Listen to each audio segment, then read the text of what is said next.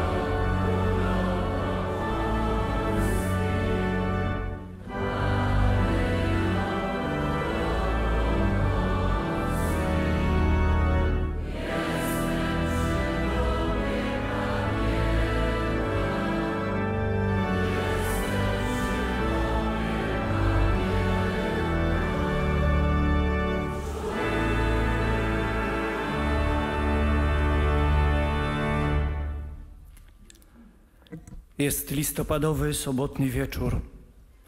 Chrześcijanie świętują już niedzielę. To przedostatnia niedziela roku liturgicznego. Ma wiele intencji. Ojciec święty Franciszek zachęca nas do modlitwy o ubogich.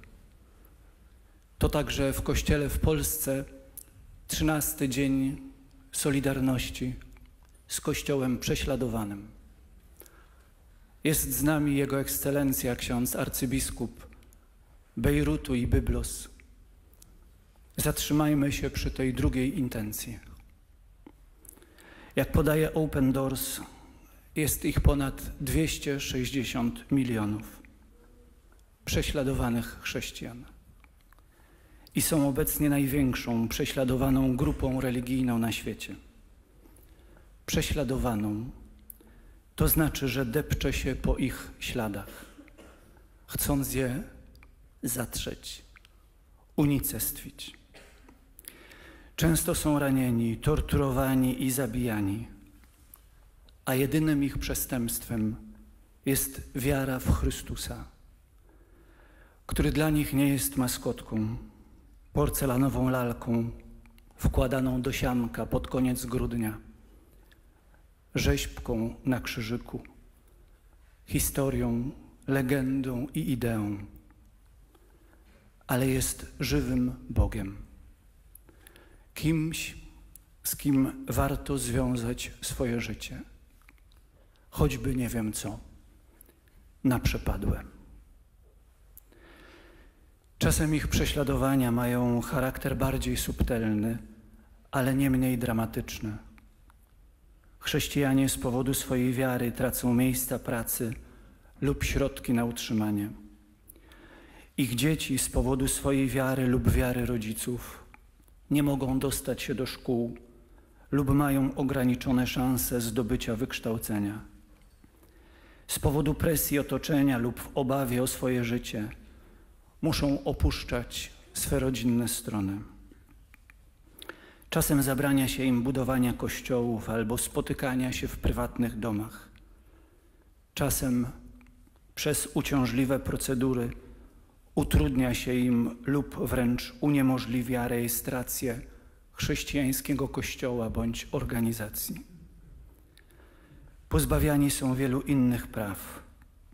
Prawa do ochrony przed arbitralnym zatrzymaniem, prawa do sprawiedliwego procesu, prawa dostępu do wymiaru sprawiedliwości, równości przed sądem, prawa do niestosowania tortur, prawa do posiadania rodziny. Pozbawia się ich praw, które im przysługują nie tylko jako mniejszościom religijnym, ale jako obywatelom i po prostu ludziom. Prawo do wyboru i praktykowania własnej religii jest dziś jednym z najczęściej naruszanych na świecie. Dramatyczne jest i to, że sprawcami prześladowań coraz częściej są osoby z najbliższego otoczenia ofiar. Najczęściej powtarzaną prośbą naszych prześladowanych sióstr i braci jest jedna: módlcie się za nas. Nie proszą przede wszystkim o pomoc materialną, prawną, polityczną. Proszą o modlitwę. Módlcie się za nas. W ten wieczór chcemy to zrobić tu, w Jasnogórskim Sanktuarium. Chcemy się za nich pomodlić. My, najedzeni, napojeni, wyspani i bogaci chrześcijanie z Polski. My, nietorturowani. My, którzy mamy otwarte kościoły i którzy bez problemu możemy wyznawać i praktykować swoją wiarę. Jeśli tego nie robimy, to nie dlatego, że nam zabraniają, ale dlatego, że nie chcemy. Dlatego, że nasza wiara stała się blada, jak późno listopadowe słońce. Maryjo, królowo męczenników i nasza matko, z obliczem smutnym i porysowanym. Maryjo, z powodu Chrystusa prześladowana przez władzę, wypędzana z ojczyzny, przeganiana z miejsca na miejsce jak bezpański kundel. Maryjo z sercem wielokrotnie poprzebijanym. Maryjo spod krzyża, pieto, bolesna i płacząca, rozumiejąca i niezrozumiana. Pomódl się z nami, za nimi. A raczej pozwól nam pomodlić się z Tobą za nimi. Bo kto jak kto, ale Ty modlisz się za nimi bez przerwy. Niech w ten wieczór albo w ten dzień, bo dla wielu prześladowanych jest teraz dzień. Niech w tej chwili szczególnie odczują Twoją matczyną obecność bliskość, Twoją miłość. I pomódl się też za nami, najedzonymi, napojonymi, wyspanymi i bogatymi chrześcijanami z Polski. Byśmy widzieli dalej niż tylko czubek własnego nosa. Byśmy docenili to, co mamy i z tego korzystali byśmy byli wdzięczni. Byśmy przestali wszczynać te nasze katolickie wojny, wielkie wojny o małe sprawy. Śmieszne, głupie i wykańczające. Pomódl się, Maryjo, za nas, byśmy mieli odwagę przyznać się do Chrystusa przed tymi, którzy są obok, w szkole, w pracy, na ulicy i na uczelni byśmy nie bali się powiedzieć tak, jestem chrześcijaninem. Jestem katolikiem i jestem z tego dumny. Byśmy zdjęli te okropne czapki niewidki, które być może są dla nas wygodne, ale są niebezpieczne dla nas samych.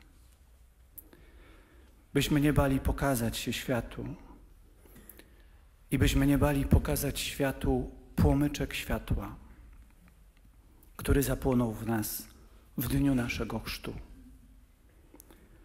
To małe światełko, od którego światu jest jaśniej i cieplej, od którego światu jest lżej. Pomódl się, Maryjo, byśmy nie bali pokazać się światu i nie, boga, nie bali pokazać światu światła. To tyle, Maryjo, w ten listopadowy wieczór. Amen.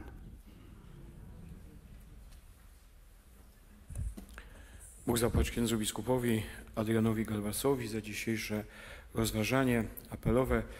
Trwając w ten sobotni wieczór na naszej wspólnej modlitwy u tronu Jasnogórskiej Pani, jak każdego dnia naszą modlitwą pragniemy otoczyć cały Kościół Święty Ojca Świętego Franciszka.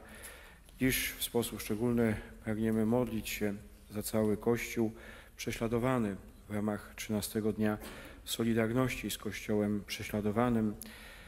Naszą modlitwą ogarniamy obecnego wśród nas księdza arcybiskupa George'a Bakuni, arcybiskupa Bejrutu i Byblos, który przybył do naszego kraju, aby przypomnieć nam o tych wszystkich chrześcijanach, którzy potrzebują naszej modlitwy, dlatego że nie mogą spokojnie wyznawać wiary w Jezusa Chrystusa. Naszą modlitwą ogarniamy polski episkopat na czele z księdzem arcybiskupem Stanisławem Gondeckim, przewodniczącym Konferencji Episkopatu Polski. Modlimy się za obecnych wśród nas księdzem arcybiskupem Wacławem, księdzem biskupem Jackiem, księdzem biskupem Adrianem. Polecamy nasz pauliński zakon, modlimy się za siostry Pallotynki, które dzisiaj tutaj na Jasnej Górze podejmują nocne czuwanie. Prosimy o pokojowe zażegnanie kryzysu na granicy polsko-białoruskiej oraz o pomoc humanitarną dla tych, którzy tej pomocy potrzebują.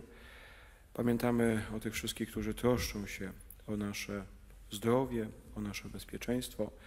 Modlimy się za służby sanitarne, medyczne, mundurowe. Modlimy się za policję, wojsko polskie, Straż Graniczną, Wojsko Obrony Terytorialnych, tych, którzy dniem i nocą stoją na straży naszego bezpieczeństwa. Wyrażamy im naszą wdzięczność oraz należny im szacunek. Pamiętamy o wszystkich osobach chorych, cierpiących, tych obecnych tutaj w kaplicy cudownego obrazu Matki Bożej, jak i tych, którzy łączą się z nami za pośrednictwem telewizji Trwam, Radia Maryja, Radia Jasnogóra, innych rozgłośni katolickich. Modlimy się o zdrowie dla Franciszka. Prosimy w intencji Ireny i Nazara w przededniu ich zaślubin. Prosimy o modlitwę dla księdza Henryka, o zdrowie dla Marii, Teodozji. Polecamy Danusie, prosząc dla niej o łaskę zdrowia. W modlitwie apelowej uczestniczą przedstawiciele 22 kół terenowych Towarzystwa Pomocy imienia świętego brata Alberta. Polecamy pielgrzymów z Radziszewa oraz z Robczyc. Polecamy parafię świętego Józefa w Obornikach, do której Matko przybyłaś w ramach trwającego nawiedzenia. Wszystko to, co mamy w naszych sercach, Tobie oddajemy, wspólnie odmawiając tajemnicę radosną Różańca Świętego, ofiarowanie Pana Jezusa w świątyni. Ojcze nasz, któryś jest w niebie, święcie imię Twoje, przyjdź królestwo Twoje, bądź wola Twoja, jako w niebie, tak i na ziemi. Chleba naszego powszedniego daj nam dzisiaj i odpuść nam nasze winy, jako i my odpuszczamy naszym winowajcom. I nie wódź nas na pokuszenie, ale nas zbaw ode złego. Zdrowaś Maryjo, łaskiś pełna, Pan z Tobą, błogosławionaś Ty między niewiastami i błogosławion owoc żywota Twojego Jezus.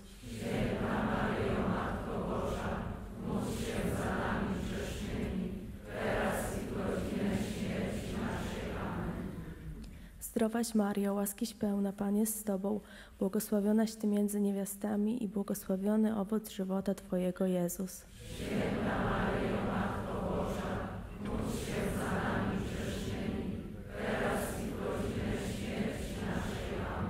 Zdrowaś Mario, łaski pełna, Pan z Tobą, błogosławionaś Ty między niewiastami i błogosławiony owoc żywota Twojego Jezus.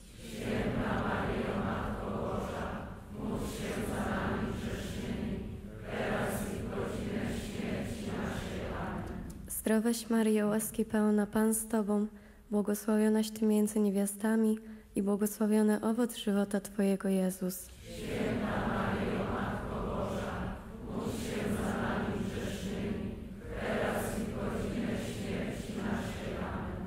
Zdrowaś Maryjo, łaski pełna, Pan z Tobą, błogosławionaś Ty między niewiastami i błogosławiony owoc żywota Twojego Jezus.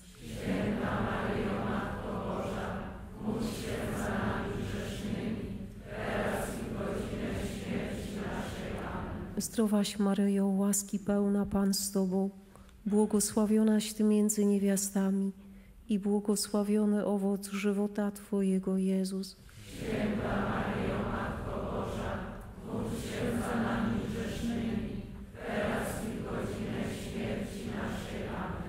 Zdrowaś Maryjo, łaski pełna, Pan z Tobą, błogosławionaś Ty między niewiastami i błogosławiony owoc żywota Twojego Jezus.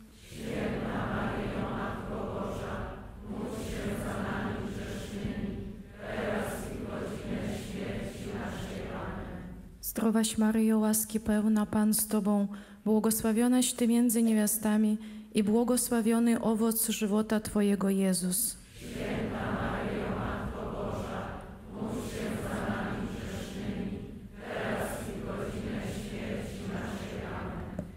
Zdrowaś Maryjo, łaski pełna Pan z Tobą, błogosławionaś Ty między niewiastami i błogosławiony owoc żywota Twojego Jezus.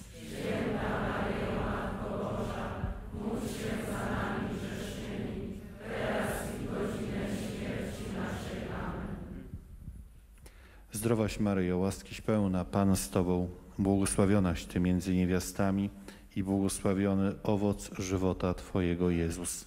Święta módl się za nami grzesznymi, teraz i w godzinę śmierci naszej. Chwała Ojcu i Synowi i Duchowi Świętemu.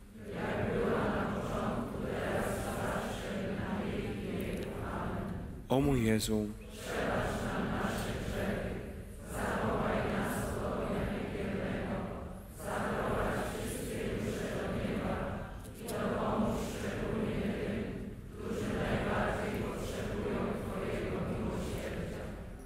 Mario, polecamy wszystkie intencje zapisane w Wielkiej Księdze Apelowej.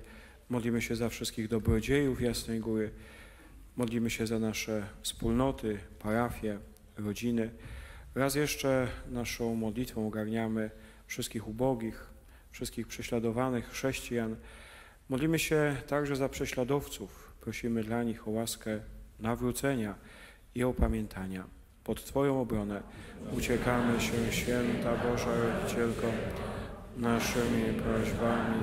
Racz nie gardzić w potrzebach naszych, ale od wszelakich złych przygód racz nas zawsze wybawiać. Panno chwalebna i błogosławiona, o Pani nasza, orędowniczko nasza, pośredniczko nasza, pocieszycielko nasza, Synem swoim nas pojednaj, Synowi swojemu nas polecaj, swojemu Synowi nas oddawaj. Obecnych wśród nas księży arcybiskupów, biskupów prosimy o pasterskie błogosławieństwo.